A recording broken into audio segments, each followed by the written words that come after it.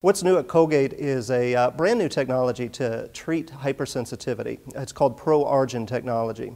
Uh, ProArgin technology is, uh, is a unique uh, formula that allows you to, within seconds, occlude the tubules.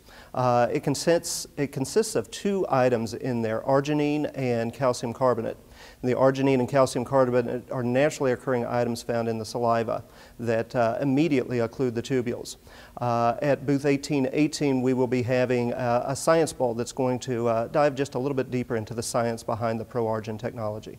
Colgate's most excited about Colgate Sensitive Pro Relief that uses our Pro Argin technology. This really gives the dental professional the ability to alleviate sensitivity in seconds chairside. Uh, whether you're doing it prior to a procedure to make the patient comfortable during the procedure, uh, in the middle of a procedure if a patient starts to get uncomfortable, or even after a procedure if, uh, if the patient becomes uncomfortable. Uh, it alleviates any type of sensitivity, mild, moderate, or severe within seconds. Uh, and not only do we get instant results, they're long lasting results. Clinicals show uh, at four weeks sensitivity relief is still there.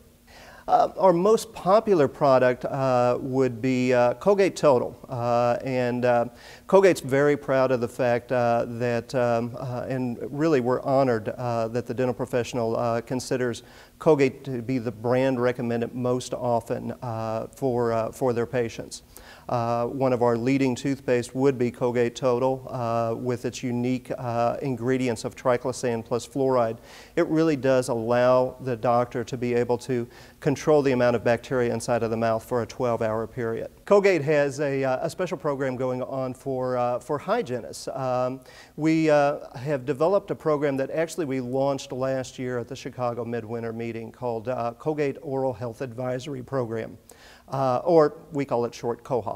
Uh, what the COHA program does is it really allows the hygienist to have educational material that she can provide to her patients as well as uh, continuing uh, educational programs that are available to her in samples that she can provide to her patients.